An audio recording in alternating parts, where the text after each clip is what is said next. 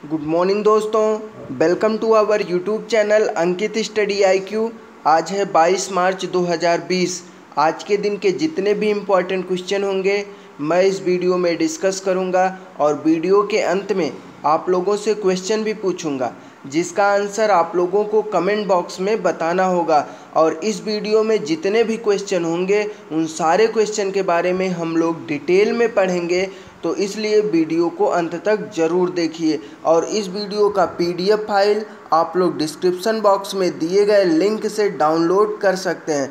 तो आइए स्टार्ट करते हैं आज के पहले क्वेश्चन से। सुप्रीम कोर्ट ने किस सेना में महिलाओं की स्थायी कमीशन दिए जाने के फैसले को मंजूरी दी है? तो अभी हाल ही में सुप्रीम कोर्ट ने नौसेना में महिलाओं के अस्थाई कमीशन दिए जाने के फैसले को मंजूरी दी है। यानी कि इस क्वेश्चन का ऑप्शन नंबर ए सही है।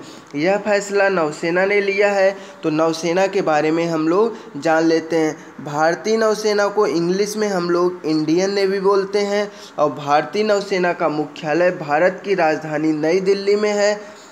और नौसेना दिवस हर साल चार दिसंबर को मनाया जाता है।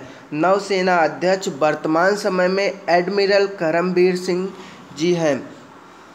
अब इसी से रिलेटेड कुछ और महत्वपूर्ण सेना प्रमुखों के नाम जान लेते हैं, जो कि एग्ज़ाम पॉइंट ऑफ़ व्यू से काफ़ी इम्पोर्टेंट क्वेश्चन है।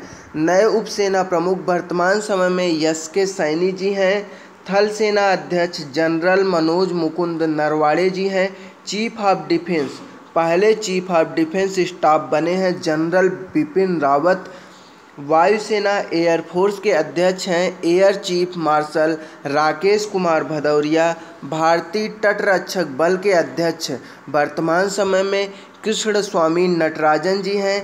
राष्ट्रीय सुरक्षा गार्ड के अध्यक्ष अनूप कुमार सिंह हैं। भारतीय रेलवे सुरक्षा बल, यानी कि आरपीएफ के महानिदेशक वर्तमान समय में अरुण कुमार हैं।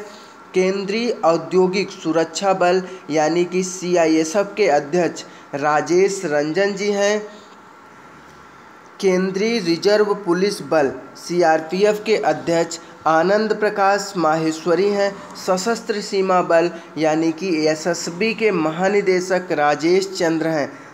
आगे बढ़ने से पहले आप सभी लोगों से निवेदन है दोस्तों, अगर अभी तक आप लोग मेरे चैनल को सब्सक्राइब नहीं किए हो तो प्लीज़ चैनल को सब्सक्राइब कर लीजिए और पास ही में लगे बेल आइकन बटन को भी प्रेस कर लीजिए, जिससे कि आने वाले नए वीडियो के नोटिफिकेशन आपके पास पहुँचते रहें। आज का दूसरा क्वेश्चन है, युगांडा में भारत का अगला उच्चायुक्त किसे नियुक्त किया गया है? तो अभी हाल ही में युगांडा में भारत का अगला उच्चायुक्त ए अजय कुमार को नियुक्त किया गया है। यानी कि इस क्वेश्चन का ऑप्शन नंबर ए सही है। अब दोस्तों, यहाँ पर एक टर्म आया है, उच्चायुक्त। और कहीं कहीं पर उच्चायुक्त की जगह राजदूत पूछा जाता है। तो इन दोनों के बारे में हम लोग जानेंगे। उच्चायुक्त क्या होते हैं और राजदूत क्या होते हैं और दोनों में डिफरेंस क्या होता। है तो आइए जानते हैं उच्चायुक्त के बारे में। राष्ट्रमंडल के सदस्य देशों के प्रतिनिधि एक दूसरे के यहाँ उच्चायुक्त के नाम से जाने जाते हैं। जैसे पाकिस्तान और ऑस्ट्रेलिया में भारत सरकार के प्रतिनिधियों को उच्चायुक्त कहा जाता है। अब सवाल यह उठता है कि राष्ट्रमंडल के सदस्य देश कौन कौन से देश होते हैं? तो राष्ट्रमंडल सदस्य, राष्ट्रमंडल के सदस्य देश वे देश हैं जो कभी न कभी ब्रिटेन के अधीन रहे हों। तो राष्ट्रमंडल देशों में भारतीय विदेश सेवा के कार्यालय को उच्चायोग कहा जाता है। तो ये भी आप लोगों को याद रखना है कि राष्ट्रमंडल देशों में भारतीय विदेश सेवा के कार्यालय को उच्चायोग कहा जाता है। अब दोस्तों बात कर लेते हैं राजदूत के बारे में। राजदूत किसे कहते हैं? राष्ट्रमंडल देशों के अलावा जो भी देश हैं, वहाँ पर भारत सरकार के प्रतिनिधि को राजदूत कहा जाता है। जैसे अमेरिका और जापान में भारत सरकार के प्रतिनिधि को राजदूत कहा जाता है। इन देशों में, इन देशों में स्थित भारतीय विदेश मंत्रालय के कार्यालय को दूतावास कहा जाता है। अब दोस्तों, इस क्वेश्चन में युगांडा के उच्चायुक्त बने हैं ए अजय कुमार। तो युगांडा देश के बारे में भी हम लोग जान लेते हैं। युगांडा अफ्रीका महाद्वीप में स्थित एक देश है, जिसकी राजधानी है कंपाला और यहाँ की करेंसी यानी कि मुद्रा है युगंडाई सिलिंग और युगांडा के राष्ट्रपति हैं वर्तमान समय में योवेरी मुसेवेनी।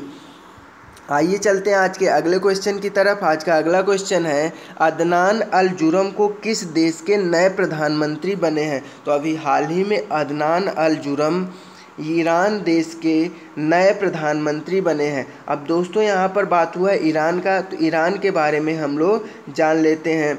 ईरान एशिया महाद्वीप में स्थित एक देश है, जिसकी राजधानी है बगदाद, और यहाँ की करेंसी है ईरानी दिनार। और वर्तमान समय में ईरान के राष्ट्रपति हैं बरहाम साले। आइए चलते हैं आज के अगले क्वेश्चन की तरफ़। आज का अगला क्वेश्चन है हाल ही में सी बैंक का मुख्य कार्यकारी अधिकारी किसे नियुक्त किया गया है?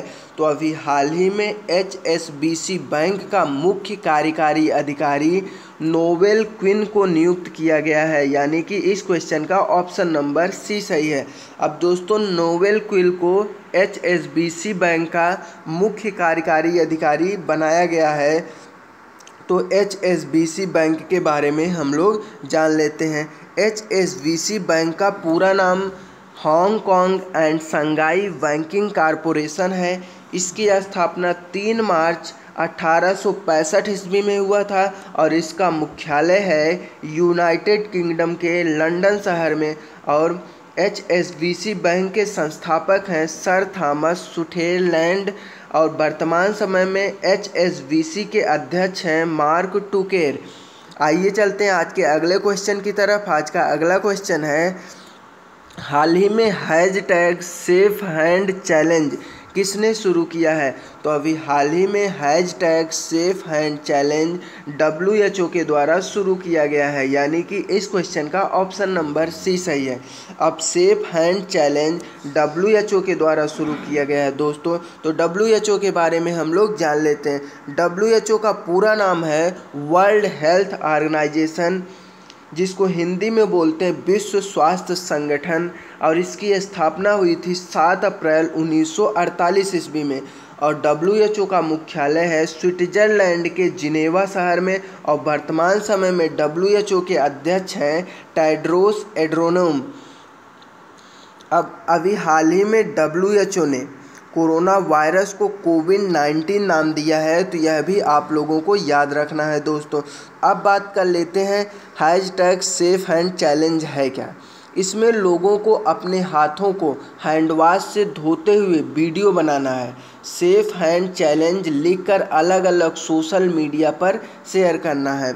आइए चलते हैं आज के अगले क्वेश्चन की तरफ़। आज का अगला क्वेश्चन है, भारत सरकार ने कोरोना वायरस के बारे में जागरूकता फैलाने के लिए किस सुपर हीरो का उपयोग कर रही है? तो अभी हाल ही में भारत सरकार ने कोरोना वायरस के बारे में जागरूकता फैलाने के लिए वायु सुपर हीरो का उपयोग कर रही है। यानी कि इस क्वेश्चन का ऑप्शन नंबर ए सही है। अब यहाँ पर एक टर्म आया है दोस्तों सुपर हीरो इसका मतलब क्या है? इसके बारे में जान लेते हैं।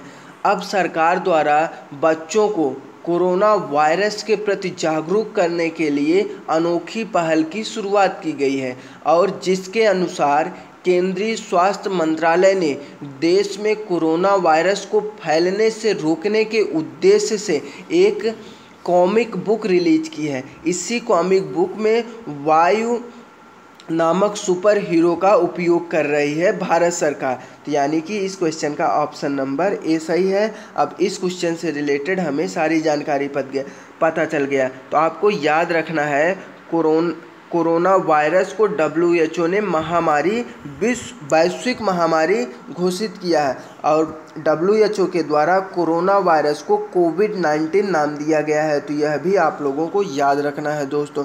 आइए चलते हैं आज के अगले क्वेश्चन की तरफ़। आज का अगला क्वेश्चन है, कौन सा राज्य अंगदान के क्षेत्र में शीर्ष प्रदर्शन करने वाला बन गया है? तो अभी हाल ही में महाराष्ट्र राज्य अंगदान के क्षेत्र में शीर्ष प्रदर्शन करने वाला राज्य बन गया है। यानी कि इस क्वेश्चन का ऑप्शन नंबर ए सही है।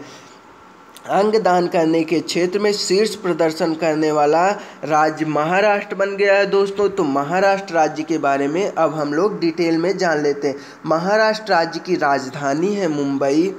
और यहाँ के मुख्यमंत्री कौन है? तो महाराष्ट्र राज्य के मुख्यमंत्री हैं उद्धव ठाकरे जी, जो कि शिवसेना पार्टी से हैं। और महाराष्ट्र के गवर्नर हैं भगत सिंह कोश्यारी। महाराष्ट्र के उच्च न्यायालय का नाम क्या है दोस्तों? तो महाराष्ट्र के उच्च न्यायालय का नाम है मुंबई उच्च न्यायालय। और यहाँ के मुख्य न्यायाधीश का नाम है प्रदीप नंद्राजोग।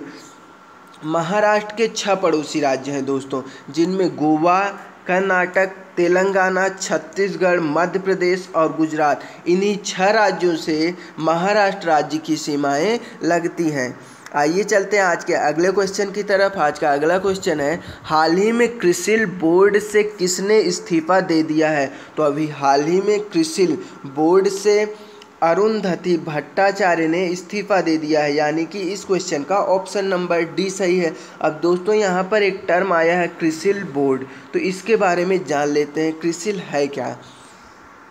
क्रिसिल एक वैश्विक विश्लेषणात्मक कंपनी है, जो रेटिंग अनुसंधान और जोखिम और नीति सलाहकार सेवाएँ प्रदान करती हैं। तो हमें पता चल गया, क्रिसिल है क्या? एक बार फिर से जान लेते हैं। क्रिसिल एक वैश्विक विश्लेषणात्मक कंपनी है जो रेटिंग, अनुसंधान और जोखिम और नीति सलाहकार सेवाएँ प्रदान करती है।